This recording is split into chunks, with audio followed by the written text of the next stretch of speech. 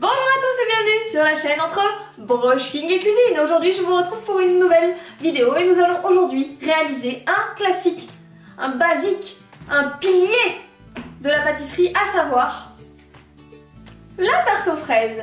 Je vous présente aujourd'hui ma mini revisite de la tarte aux fraises qui je trouve la rend encore plus gourmande que ce qu'elle n'est déjà. Je vous laisse avec la recette, bien sûr. Toutes les quantités sont en barre d'infos. N'hésitez pas non plus à mettre des pouces vers le soleil si vous aimez cette recette. N'hésitez pas non plus à vous abonner si vous avez envie. Pourquoi pas? Plus on est de fous, plus on rit. Et je sais que vous l'avez dit tout seul dans votre tête, derrière l'écran. Je vous laisse avec la recette. Je vous dis salut. Et pour cette recette, il va vous falloir des roux d'or ou des palais bretons, du chocolat blanc, des sortes de petits beurres et des fraises. On va commencer d'abord par faire la pâte de notre tarte. Ici, on n'a pas besoin de la cuire. On va mixer nos biscuits entre eux jusqu'à obtenir une poudre très fine sans morceaux. Puis on va mélanger euh, cette pâte avec notre chocolat blanc qu'on aura fait fondre au préalable au micro-ondes. Vous mélangez le tout pour obtenir une pâte homogène. Et une fois que c'est fait, vous allez la verser dans votre moule à tarte.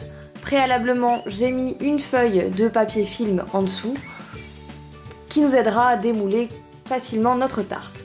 Avec une cuillère, je vais étaler ma pâte uniformément dans mon moule et je vais faire donc les rebords de façon à ce qu'on ait une présentation assez esthétique. Quand vous avez obtenu le résultat souhaité, vous allez mettre cette pâte à tarte, dans son moule bien sûr, dans le frigo pendant au moins une demi-heure. Pendant que notre tarte est au frigo, on va s'occuper des fraises. Donc je les coupe en petites lamelles comme vous pouvez le voir et de façon à ce qu'elles dégorgent un maximum, je vais les placer sur du papier absorbant le temps de faire ma crème pâtissière. Pour la crème pâtissière, je vous propose de cliquer sur la tarte et vous aurez la recette puisque je vous l'ai déjà présentée dans mes recettes basiques. Une fois que la crème pâtissière est refroidie, je l'ai mis dans ma tarte avec une douille pour que ce soit un peu plus uniforme et je vais maintenant placer mes fraises en forme de fleurs comme vous pouvez le voir. Donc je commence par l'extérieur et je remonte au fur et à mesure en les empilant les unes sur les autres. Pour ma part, je trouve que c'est une déco assez jolie, originale et hyper féminine. Et puis, puisque c'est encore la saison des fraises, profitez-en et régalez-vous.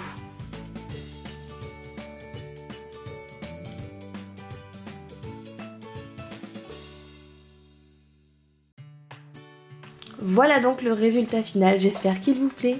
Régalez-vous